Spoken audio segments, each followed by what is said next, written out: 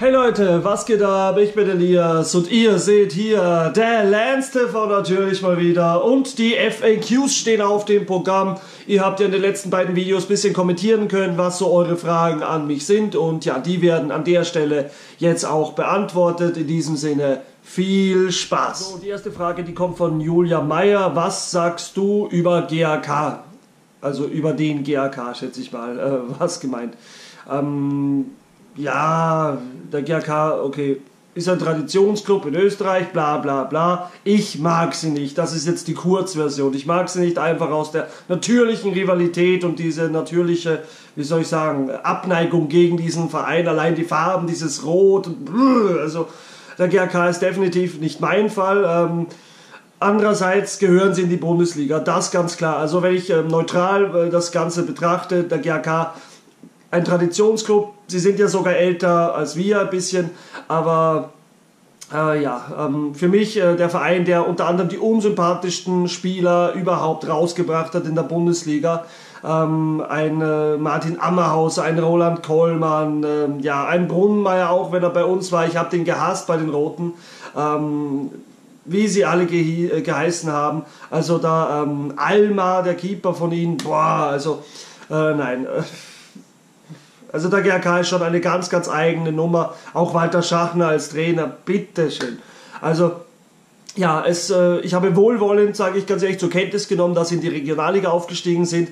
Aber ansonsten, ja, habe ich mit dem Verein nicht wirklich was am Hut. Nichtsdestotrotz, es wäre gut für die Bundesliga, weil der GRK ja doch äh, eine gewisse Fanbase hat. Da ist nicht drüber wegzudiskutieren, ähm, die man durchaus auch respektieren muss, würde ich sagen. Äh, zumindest die, die den Weg äh, wirklich äh, in die letzte Liga dann mit angegangen sind und eben wirklich den Durchmarsch mitgemacht haben. Also das sind für mich dann auch echte Fans. Und äh, ja, alle anderen, die sich quasi da wirklich so abwenden und dann sagen, okay, wir sind erst wieder dabei, wenn der Verein gut ist, das, ja, das sind für mich dann Heuchler, ganz ehrlich. Deswegen, ach, GRK, es ist gut, wenn sie wieder in der Bundesliga sind. Es wäre, glaube ich, auch gesund für unseren Verein, weil man vielleicht dieses Zusammengehörigkeitsgefühl ähm, dann auch wieder ein bisschen mehr stärken würde. Es ist halt nicht das Gleiche, wenn du gegen äh, Rapid oder Austria spielst, als wenn du gegen die GRK spielst. Das ist der Rivale aus der eigenen Stadt. Das ist doch mal ein ganz anderer, ein ganz anderes Level von Emotion. Und ja, ich sag ganz ehrlich, ich wünsche mir, dass sie wieder in die Bundesliga kommen und dass wir wieder Derbys in Graz sehen, denn das würde, glaube ich, wirklich der ganzen Stadt gut tun. Und ähm, ja, so viel dazu. Das eben mein Statement zum GRK an der Stelle. So, als nächstes äh, fragen Stefan Gamer XD und Todi68 knapp im Grunde dasselbe. Ähm, willst du wieder Gaming-Videos machen, äh, beziehungsweise kannst du wieder Gaming-Videos machen?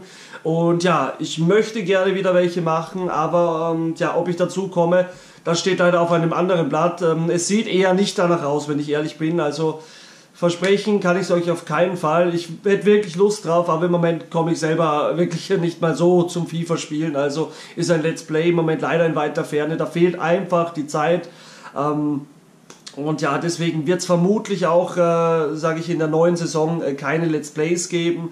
Ähm, sollte sich daran irgendwie was ändern oder ich irgendwie zeitlich äh, ja, mehr rausholen können, dass sich das wirklich ausgeht, dann werde ich es auf jeden Fall machen. Aber es sieht leider nicht danach aus. Ähm, ja, tut mir leid. Geier kommt die Frage. Scheusengeier wechselt ebenfalls zu Wiener Austria. Was ist deine Meinung dazu? Ja, ähm, ehrlich gesagt juckt mich das relativ wenig. Also Scheusengeier zu Austria könnte passen ich sehe Scheusengeier jetzt nicht ganz insgesamt nicht ganz so schwach wie viele andere, ähm, auch wenn er von mir eben in der Spielerbewertung ähm, eine schlechte Note auch bekommen hat. Aber äh, trotzdem ist er, also ich glaube nicht unbedingt, dass er die Austritts wirklich verstärken wird. Ich bin echt gespannt, ob er gleich Stammspieler dort sein wird. Aber dass er uns jetzt verlässt, okay, das war ja sowieso länger schon vorab zu sehen. Und man muss auch sagen, er hat jetzt nicht die Top-Leistungen gebracht, dass man ihm jetzt eine Träne nachweinen müsste. Also von dem her, es ist verschmerzbar, da haben andere Transfers viel mehr geschmerzt. Ähm, Thorsten Röcher beispielsweise tut mir schon ziemlich weh. Ähm, und natürlich auch ein möglicher Abgang von Schul wäre auch eine bittere Geschichte, auch wenn es Geld bringen würde. Also generell jeder, ja, jeder andere Abgang hat mich bis jetzt, äh, außer vielleicht der von Puchegger, noch mehr geärgert äh, als äh, jetzt der Abgang von Scheusengeier. Also von dem her, ja, soll er in Wien also, glücklich äh, werden. Milo der Harpy und Olli 123 fragen quasi dasselbe. Äh, was ist deine Meinung zur Liga-Aufstockung äh, mit zwölf Mannschaften? Prinzipiell bin ich dem Ganzen relativ positiv gegenüber eingestimmt, äh, weil ich es gut finde, dass eine Veränderung auf jeden Fall mal kommt. Ähm, auch wenn man sagen muss, dass das Theater da mit St. Pölten und Wiener Neustadt ja nicht gerade zuträglich für die Liga ist, aber ich glaube, die Relegation gibt es ja nur in dieser einen Saison. Also äh, von dem her ja, schauen wir mal da darüber hinweg und überhaupt interessant, was an der Stelle dabei rauskommt. Aber ansonsten finde ich es ganz gut. Also auch das mit den Playoffs, ähm, man muss abwarten, wie sich das Ganze dann wirklich in der Praxis darstellt. Aber ich glaube, es ist vielleicht gar nicht mal so schlecht. Ähm, der Sinn dahinter soll ja sein, dass die besseren Mannschaften wirklich ihre vier Duelle beibehalten. Also für uns sollte es ein Vorteil sein, dass man viermal gegen Salzburg und Rapid und so weiter spielt und jetzt nicht jedes Mal viermal gegen Wolfsberg ähm, oder St. Pölten. Also einfach mal schauen. Ich bin da gespannt drauf. Ich glaube, es könnte der Liga gut tun. Äh, eben auch da mit der Punkte-Halbierung äh, dann nach äh, äh, etwas mehr als 20 Runden. Ähm, ich glaube auch, das könnte vielleicht ein bisschen Spannung reinbringen, dass alles etwas näher zusammenrückt. Es geht im Endeffekt ja nur darum, ob man an Salzburg näher rankommt oder nicht. Äh, für den Rest der Liga mehr oder weniger. Und ja, ich bin da positiv gestimmt und ich lasse mich da auf jeden Fall überraschen. Wir werden schauen, was daraus kommt. drei möchte außerdem noch wissen, ob ich über allgemeine Top-Transfers innerhalb äh, der Liga in der Pause reden kann. Ähm, naja, Prinzipiell schon, na klar. Ähm, der Fokus liegt bei mir aber natürlich klar auf Sturm. Also das ohne Wenn und Aber, das hat immer Vorrang. Äh, wenn es sich ergibt, auf jeden Fall, äh, glaube ich, wäre es ganz interessant, ähm, eben über die allgemeinen ja, Transfers und ein bisschen so die Verstärkungen der Konkurrenten eben auch zu quatschen. Also da ähm, könnte ich mir auf jeden Fall vorstellen, was zu machen. Und ja, ich denke, das ja, ist, auch, ist auch nicht utopisch. Also ist schon ein realistischer Wunsch und ich glaube, ja, das werde ich in Angriff nehmen. Ähm, wenn äh, da nichts äh, Unvorhergesehenes dazwischen kommt, dann ja, werde ich das, glaube ich, machen. Der würde gerne wissen, äh, was ich beruflich mache. Äh, ja, also ich bin äh, Vollzeit beschäftigt. Ähm, ganz genau will ich da jetzt nicht drauf eingehen, wo ich arbeite, äh, aber so viel, ich habe schon, ja, ich habe schon mit Leuten zu tun und ja, verdiene sehr, sehr wenig. an der Stelle. Mehr will ich dazu gar nicht sagen. Ich hoffe, du bist mit der Antwort zufrieden. Ich verdiene viel zu wenig. also ja, ähm, beruflich äh, gibt es sicher noch Steigerungspotenzial bei mir. Ähm, ja, aber eben, äh, ja, vom Herz her ist sowieso, bin ich beruflicher YouTuber, auch wenn ich dafür nichts bekomme. Und äh, ja, ich hoffe, die Antwort reicht dir, Julian. Günter Kerbler, ähm, hast du vom Grozurek-Gerücht gehört und wen würdest du als Röcher-Ersatz holen? Äh, fragt er. Und naja, also vom Grozurek-Gerücht natürlich habe ich davon gehört, das ist ganz klar. Ähm, als Ersatz äh, für Röcher käme mir, äh, also an Gebauer ist man ja dran. Ähm, auf jeden Fall Gebauer in den Sinn. Mit Grozurek ist ja eher mehr Stürmer. Der kann aber auch Linksflügel, was ich mich erinnere, glaube ich, spielen. Also das wäre eine Ideallösung, muss ich sagen, von den Positionen her, dass du einen hast, der ganz vorne äh, spielen kann, aber auch aus dem, auf dem Flügel ein bisschen ausweichen könnte. Und äh, dann ist mir noch äh, Karim Onisivo so in den Kopf geschossen.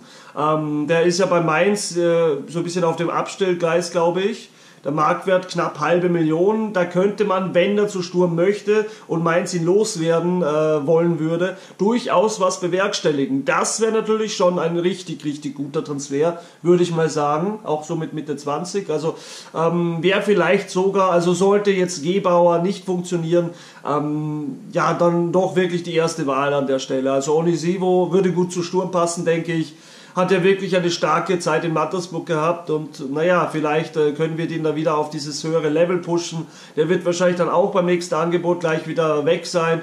Ähm, aber gut, damit muss man das Sturmfan in diesen Tagen sowieso leben. Es hilft ja nichts. Aber der könnte uns zumindest kurzfristig sicher helfen. Und ähm, ja, wäre so mein sonst obligatorischer Röcherersatz an der Stelle.